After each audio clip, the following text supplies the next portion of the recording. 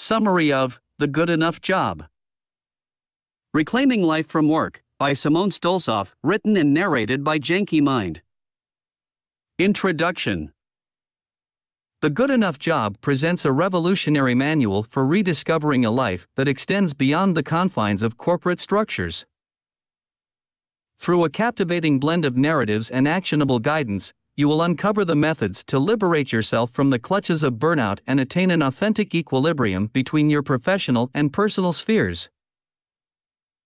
Back in the 1930s, the visionary economist John Maynard Keynes envisioned a future where, by 2030, we would only toil 15 hours weekly, leaving ample room for leisure, the ultimate emblem of status and contentment.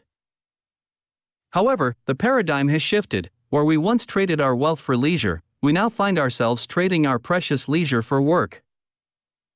This is particularly evident in the United States, where individuals are investing more hours in their labor than ever before.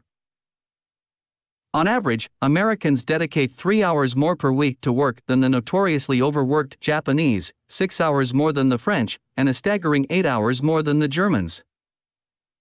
In essence, our perspective on work has transformed.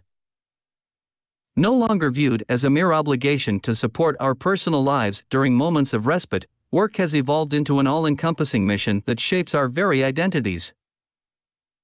This phenomenon can aptly be termed as workism.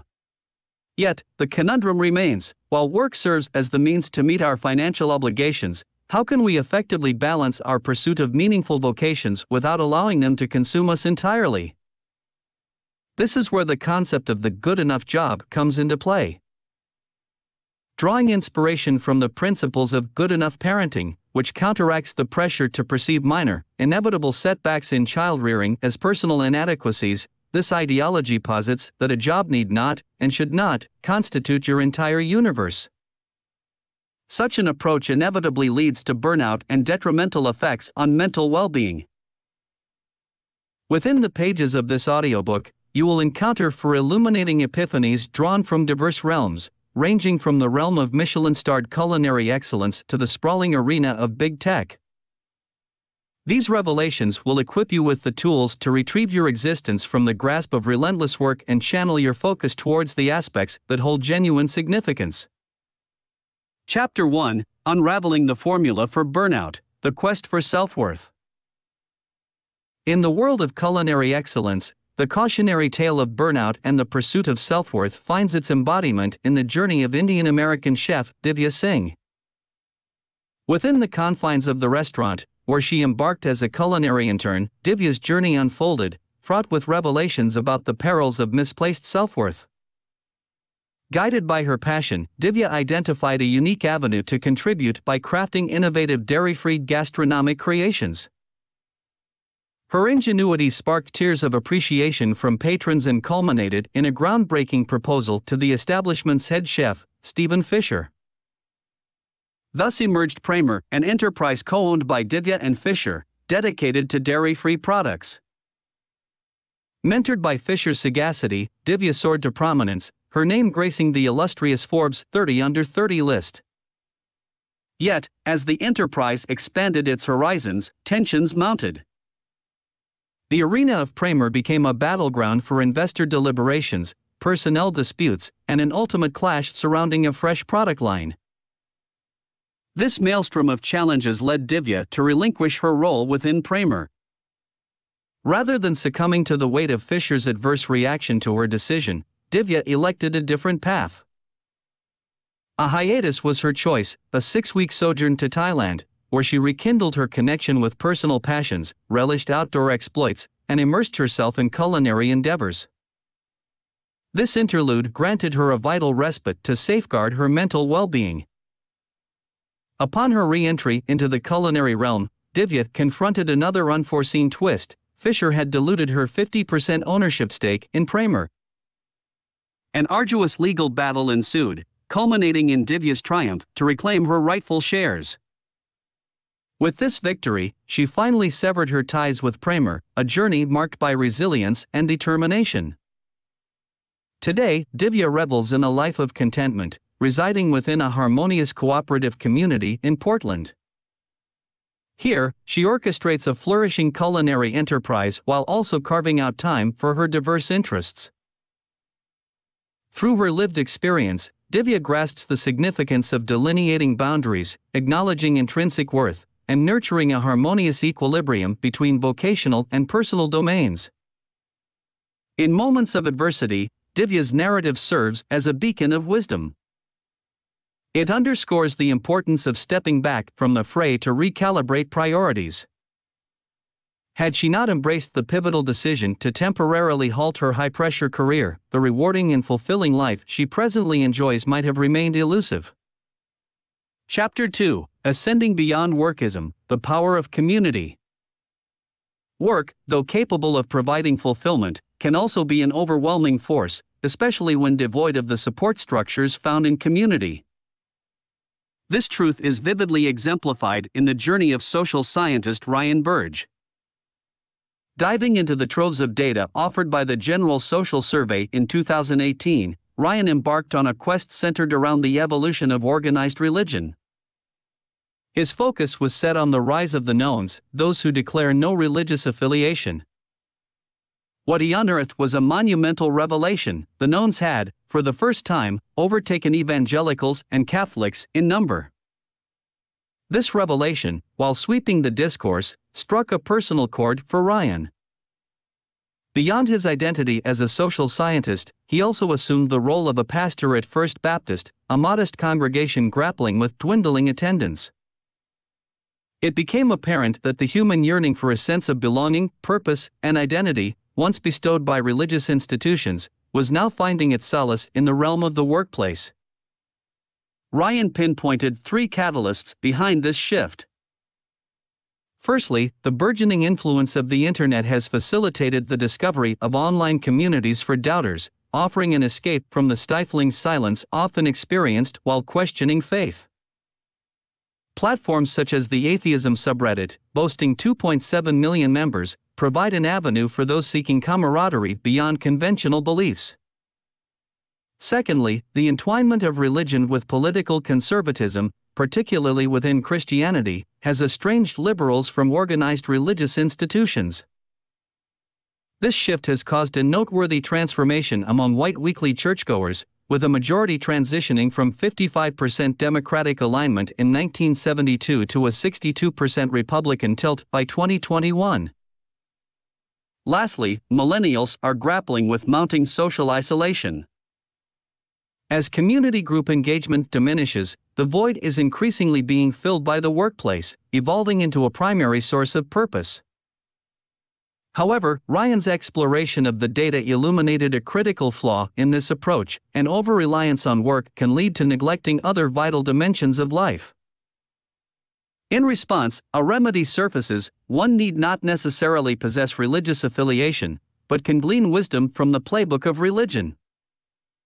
Historically, religious traditions have sought to address a fundamental query what confers value upon our lives? In an era where religious adherence is waning, individuals are turning to work for answers. Yet, there exists a plethora of factors that infuse life with worth, transcending the dimensions of salary and office hours. Participating in a musical ensemble, joining a bowling league, or sharing a potluck supper with friends are just a few examples. By diversifying the sources from which fulfillment is derived, incorporating community based endeavors, one can wrest their existence from the grasp of unpredictable superiors or the vagaries of the marketplace. This proactive stance fosters a formidable buffer against the capricious tides of life's unforeseen twists and turns.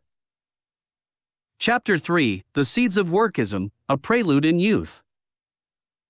The year 1999 witnessed the emergence of Megan Greenwell, an audacious high school sophomore, into the realm of journalism. A plunge into the world of student newspapers led her on a captivating investigation into the disturbing depths of modern day slavery.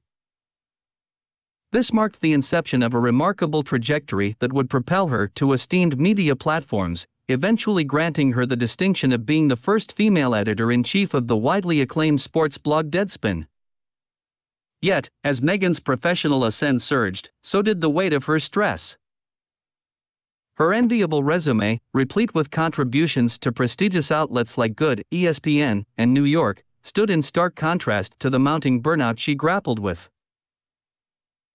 The pinnacle of this exhaustion arrived shortly after she embraced the role of interim editor in chief at Wired, prompting her eventual decision to step down. However, Megan's burnout transcended the parameters of mere overexertion. It was emblematic of a cultural norm that intertwined self worth with ceaseless productivity.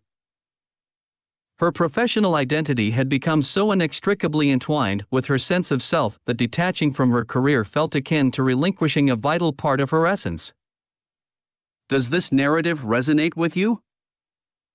You're not alone. Psychologist Janet Koretz has crossed paths with numerous high achieving individuals, akin to Megan, who experience a sense of aimlessness once they've checked off all the boxes on their career checklist. The underlying culprit, according to Koretz, lies in a societal culture that casts work as an eternal marathon while relegating personal time to the sidelines. To surmount the clutches of workism, Koretz proposes the concept of time sanctuaries, pockets of personal moments wherein one can delve into their authentic self beyond the scope of their occupation. However, the journey doesn't conclude there. The unrelenting drive of high achievers can inadvertently transform hobbies into a different variant of work.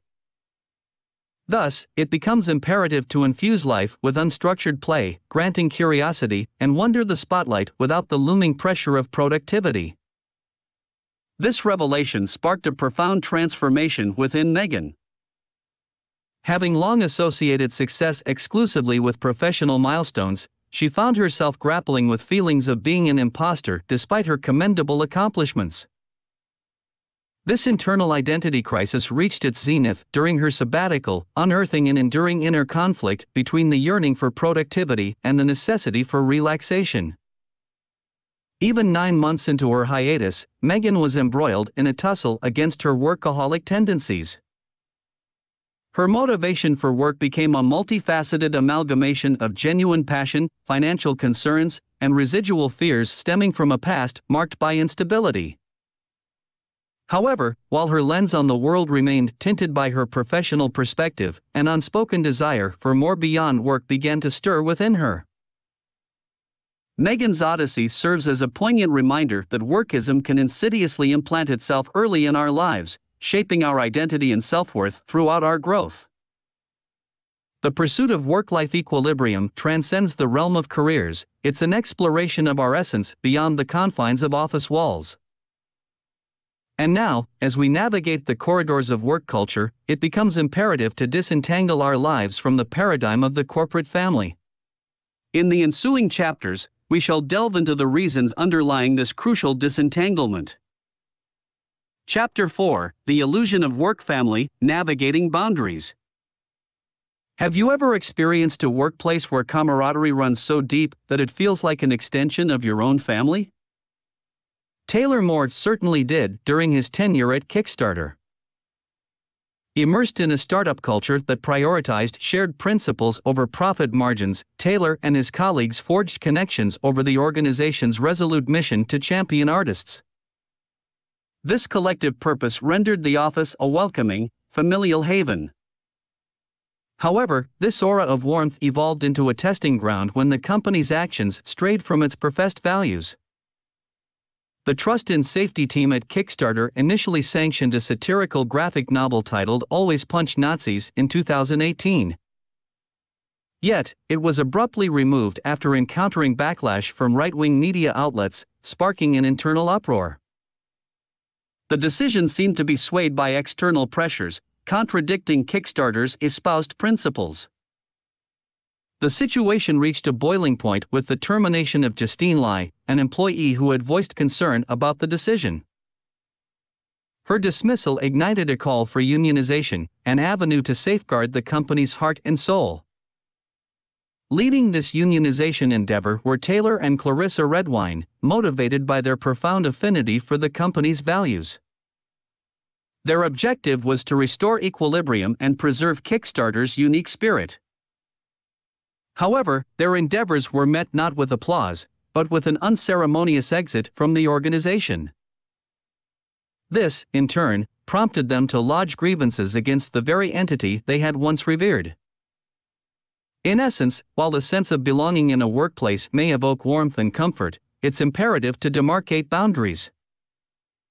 Even within the most tightly knit professional setting, it remains paramount to acknowledge that, ultimately, it is still a business. When circumstances demand, the imperative of the bottom line often supersedes other considerations. Ultimately, work constitutes a singular facet of life, it does not encompass its entirety. Thus, it is incumbent upon us to liberate ourselves from the allure of corporate rhetoric that seeks to persuade us otherwise. Recognizing that our workplace is not synonymous with our actual family allows us to recalibrate our focus and priorities. This acknowledgement does not translate to a lack of dedication to our work, rather, it signifies the establishment of essential limits and the pursuit of fulfillment beyond the constraints of our job designations and performance metrics. So, embrace the opportunity to rekindle neglected hobbies, invest quality time with cherished ones, and nurture relationships that extend beyond the office realm. The present moment is ideal for embracing personal happiness on an unprecedented scale. Summary Work is a facet of life, not its defining essence, for it exists within the boundaries of reality, not as an all encompassing force. Regardless of whether you assume a subordinate role or command the reins of your own enterprise, it's paramount to bear in mind that your professional journey constitutes merely a chapter within the grand narrative of your existence. Embrace the opportunity to turn the pages of this book and craft a narrative that extends beyond the confines of your career, encompassing the myriad facets that hold genuine significance to you. This audiobook summary was brought to you by Janky Mind. We hope you enjoyed it.